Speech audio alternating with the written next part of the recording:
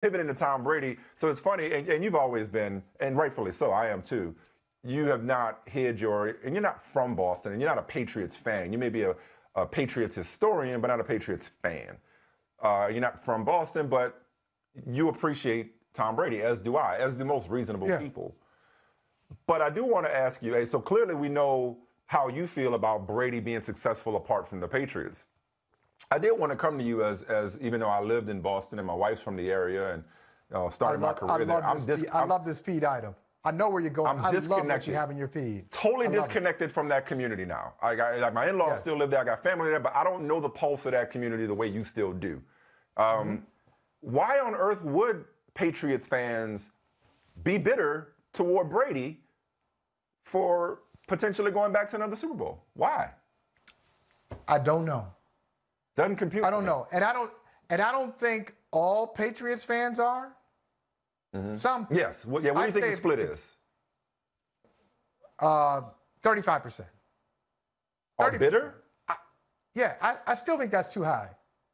Okay. I mean, I think that's right. an accurate number, but I think that number is too high. This guy wanted to stay. He wanted to stay in Boston. He pretty much begged uh, ownership and Bill Belichick, hey, let me stay. Give me hook, hook a brother up with that Drew Brees contract and we're good. Give me two years, 50 million, we're good. And they didn't do it. Yeah. So he wanted to stay. They declined, and then they gave him no choice but to walk away. So, if, but, but even if that had been the case, even if he decided to walk away after 19 years, so what? So wait, just the so I'm clear, nine just, Super Bowls. But wait, just so I'm clear, you said he wanted to stay. Initially, did I hear you he, right? So, so the summer, so before the uh, before the 2019 season. Okay. Summer before the before 2019 season, training camp yeah. says, all right, contract's up. I need a new deal. I'd like to get a new deal. What he's looking for is two years, $50 million. Yeah. What he did, what he got was really not a new deal. It, once it was reported as a new deal, but once people started looking into it, said, wait, wait a minute. Tom Brady's about to be a free agent after the 2019 season. What's going on here? He didn't get. That's not really a new contract. They messed around with some numbers. They gave him a little bit of a pay mm-hmm. raise, but he's about to walk out the door. That's when he sells his house uh, or puts his house on the market. And Brookline, sorry, we're not interested. You know, a little, little, little overpriced, like 38, 39 million dollars. Um, puts his house on the market, is no longer involved with his charity, all these other things. He wanted them to sign him up for the long term. They didn't want to do it. They wanted to go in a different direction. There's no reason to be bitter. Interesting. I thought, There's no reason to be bitter what about, about what, what, what. But what about all the, he was sick of Belichick and and oh, wanted to change and didn't feel appreciated. What about all that stuff? I thought I thought I it was, that, I thought it was more mutual, if anything. Too. Okay. All, so, all that so, stuff is true. So it's mutual. Okay. Yeah, because Belichick, look, Tom Brady, when you were covering the Patriots, I don't know if people know this, but people should. They should know the Michael Smith story. Michael Smith was covering the Patriots way back in the day, covering championship teams, covering Tom Brady, Bill Belichick on stuff. So when you were covering the Patriots, you remember Tom Brady being the first one in the offseason workouts, and he'd win some special parking spot because he was some workout warrior in the offseason. But that was the backwards hat wearing, baseball cap wearing, 24 year old Tom Brady. But when Tom Brady got to be 40, putting on a grown man's fedora, right. and got a wife and kids, I'm a grown man. Hey, hey, man, I'm a grown man. Don't, don't, don't talk to me like that in the meeting. Don't talk to me like that. I know the offense. I'm going to be prepared. You don't have to talk to me like you talk to everybody else. And Bill Belichick would do. He would treat Brady just like anybody else. And I think some fans might say, well, that's right. Don't make any exceptions. Everybody's the same. Everybody's not the same. You can't treat Tom Brady like the 53rd guy on the roster. That's just absurd. And so I think he wanted some some relief from the from the from the Belichick show at times. And and all it would, wasn't happening. All I say is this. So it sounds like off the top, you know, what you're basically getting at is like if they're mad, they're mad at the wrong one because they could have had him, but the hoodie let him yeah. go. I would just say I find that and I've experienced this firsthand. You are bitter towards someone or some entity when you are not happy where you are. Mm. Because like Ooh, te- this season, Peach Doc. this season, a seven and nine season is, is foreign to New England, right? As you know. And if anybody out there feels some kind of way about watching Brady flourish for another team, for another franchise, flourish for another franchise, then I think it's really because you're at home because you are at home. Or you went home earlier than you're accustomed to. And worse than going home earlier than you're accustomed to, you have no hope for the future at the quarterback position.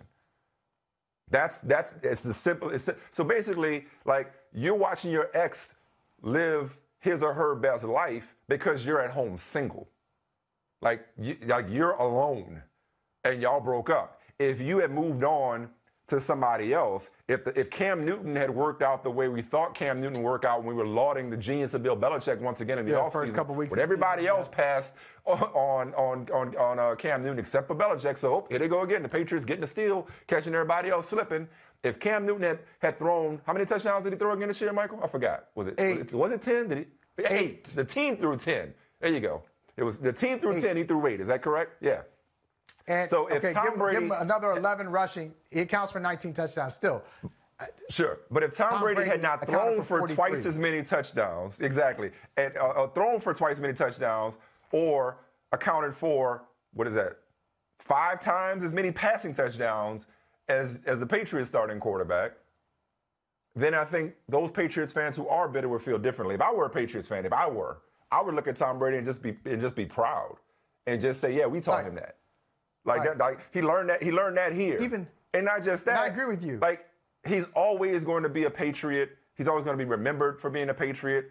Nothing he does with Tampa would in any way cancel out or make people forget or take away what he did for 20 years in New England. So if I'm a New England fan, I'm trying to have it both ways. I'm trying to have it like, oh, our team at home, but my quarterback's going to the Super Bowl again. That's still my quarterback. Shout out to T.O. That's how I'd be looking at it. Mike, come on. You everything you say is correct, but why should it have to come to that even? Let's say you're doing poorly. Let's say you don't win seven games. Let's say you win three without Tom Brady being there. Tom Brady gave you, as, as a sports fan, you can't get more than that from any team. I mean, there, there are NBA teams that don't have winning records over 19 years. There are NBA Yeah. teams that don't do that. That year after year, and it's it, it, and, and make the playoffs uh, X amount of years, and to always be in championship contention. You did that for a generation, and so when that comes to an end, how dare you be bitter? What are you bitter about? What are you bitter about? It's supposed to. Is it was it supposed to be 25? Was it supposed to be 30 years? How long was that supposed to to that. last? That's a crazy sense of And- entitlement. Yeah. And, and here's the other thing. Spoiled. All right, so, I'm going through NFL history. I know you're an NFL historian. You know all these combinations. So whether it is Bradshaw and Noll, whether it is Montana and Walsh, uh, any great quarterback, head coach quarterback combination, there's no equivalent to Brady Belichick that long. Yeah. Yeah. It's if you had gotten 10 years out of them, you say thank you. 12, a dozen years. Wow, this is a bonus. Yeah. Yeah, And- and, and- and not just 20 that, years. And not 20 just years. that, you you got it out of a six round pick. It was, you got it out of nowhere. You got it unexpectedly. Who, You know what I and, mean? It and- wasn't and like- Mike, also, Yeah. great point. A guy who spoke their language too. Mm-hmm. So a six round pick who was a company man when it came to negotiating. Mm-hmm. I always used to say this about Tom Brady. I say, Tom, you're the only one in New England who can sit there and say, yeah, I'm holding out. I'm not getting enough money. And the fans, you know how fans usually hate when players do that. Yeah. The fans would side with him. He'd have a case. He's the only guy to be like, No. I'm not making enough.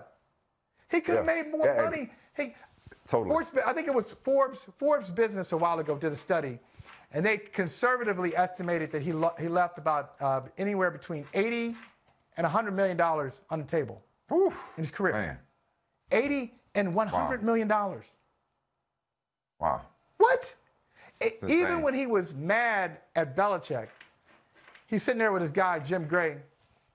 He's mad at Belichick, and, and Gray gives him a you know th- threw up threw him an alley. Said, uh, "Do you feel appreciated by Robert Kraft and Bill Belichick?" He's mad. This is mad Tom Brady. You know what? You know what mad Tom Brady says? Hey, if kids are around, cover their ears. I'm gonna tell you what Tom Brady said. Get ready. I plead the fifth. Yeah. Okay, Yeah, that's, oh, that's still- Tom still- Brady still mad at the boss. Yeah. Yeah. G Like if he, if he, he would never take the low, he would always take the high road, would never take the low road. And if, if he felt compelled to take the low road, he'd just exit, just get off altogether. No, listen, I mean, I I I'm picking the Packers. I love Aaron Rodgers. Part of me, a big part of me, is pulling for Brady. Said no one ever. Pulling for Brady to get back to the Super Bowl in Tampa. I've never seen a home Super Bowl. Real quick note before we go to break, I was just gonna say, it feels almost full circle. Uh, it feels almost full circle for Belichick. It's not apples to apples. It's not the same thing but it's almost Bernie Kosar like in Cleveland. Almost, you know, very unpopular. And he's not, you know, for driving the local icon out. Again, I'm not comparing Kosar at that stage to Brady at this stage, but interesting how that kind of came full circle in his career. And speaking of um, consistency, talking about the more things change, um, I don't know if you saw Gronk, man. You know, Gronk, Gronk's so used to going to championship games till he forget what conference he in. That's how much Brady is, is automatic. That's how that's that's how accustomed he got to it. Hey, thanks for watching Brother from Another on YouTube. Make sure you hit subscribe before you leave and be sure to watch us 3 to 5 p.m. Eastern Time on Peacock. Appreciate you.